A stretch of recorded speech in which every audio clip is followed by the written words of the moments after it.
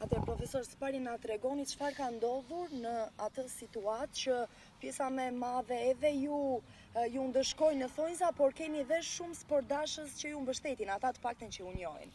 Ju falënderoj një herë për intervistën dhe dua të sqaroj te opinioni korçar dhe mbarë Shqipërisë për komplet tërë kjo rrëmujë që u zhvillua në portale dhe në televizione.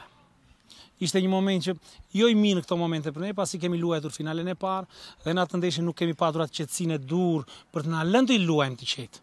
E njëjta që po na ndodh në finalen e dytë që ne presim të kurorëzohemi ditën e dielë duke ngritur kupën në mes Tiranës, një gjë që është shumë e mundur për ne. Tani, për sa i përket problemit që u bë shumë viral në portale, dua të prekem shumë pak.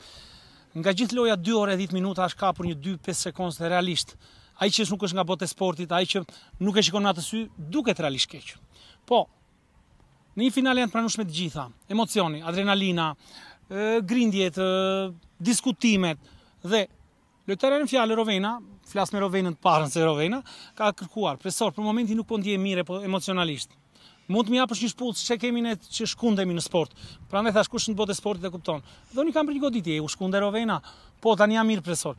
Dhe kjo u transformua pastaj shkoi në nëpër portale, u transformua në mënyra nga më të ndryshmet, nga komente më të ndryshmet dhe nuk kam dashur në asnjë moment të komentoj as nëpër portale dhe as diku tjetër vetëm në televizione që realisht mund të dëgjohej versioni dhe mos komentonin pa fund të gjithë. Si ndiheni në këtë situatë? Në këtë situatë ndihemi keq, siç e thashë, se vendimi që na ka ardhur nga federata është një çik shumë i rëndë për sa i përket. Dhe më duket shumë i nxituar.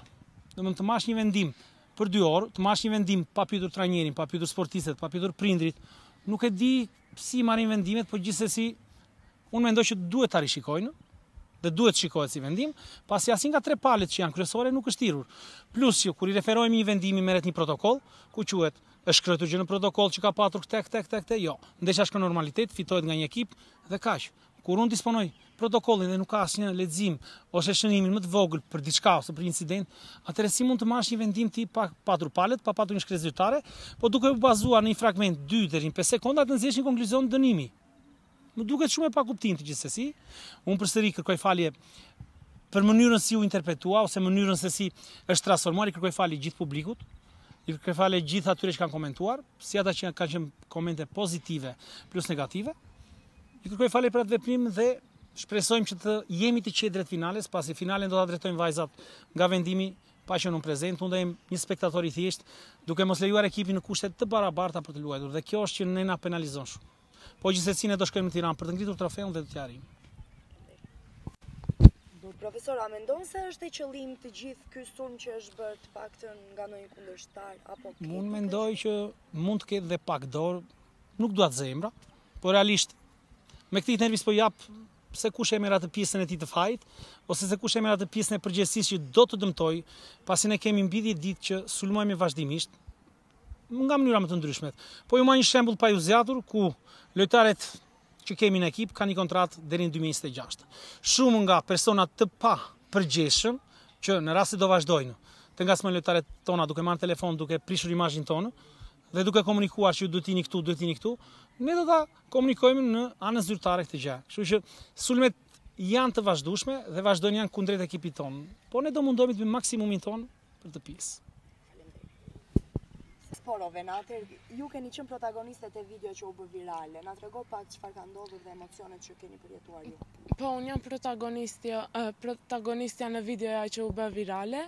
Dhe unë mendoj se ajo video është marrë nga portale të ndryshme dhe është ekzagjeruar. Në këto momente jam shumë e ngarkuar si unë dhe familja gjithashtu nga komentet e ndryshme, si nga njerëzit gjithashtu dhe nga lajmet. Po gjëja e vetme që doja të thoja është jemi të diel duke ngritur trofeun dhe atë trofe do e fitojmë për profesorin. Super. A ju ka dhënë një shpullë profesori? As shpullë nuk mund të quhet, pasi është thjesht një tërheqje vëmendjeje. Ata që merren me sport dhe janë të angazhuar në fushën e sportit e dinë shumë mirë që këto nuk quhen shpulla, por quhen thjesht tërheqje vëmendje dhe këto na motivojnë ne që të vazhdojmë dhe të luajmë më mirë, sepse ka momente që një lojtar nuk ndihet mirë dhe ka nevojë që t'i kthehet përqendrimi. dhe të vazhdojë lojën dhe të dalë sa më mirë. Dhe për mendimin tim e gjitha kjo që u bë nga portalet, komentet e shumta që të gjitha ne kemi marrë, jo vetëm ne vajzat të cilat jemi postuar, për mendimin tim është e padrejtë, pasi siç foli dhe profesori, asnjë nga ne nuk është ankuar dhe asnjë nga asnjë pri, asnjë prind nga ne të gjitha vajzat nuk ka dalë dhe ta akuzojë. Dhe gjithashtu mendoj se nuk duhet të merren vendime të tilla të nxituara, Pasi ne të gjitha, vajzat këtu, kemi një vit që punojmë dhe shpenzojmë energjitë tona për të ngritur kupën dhe ne do e arrijmë këtë gjë, duke ngritur vlerat e emrit tonë dhe të profesorit tonë.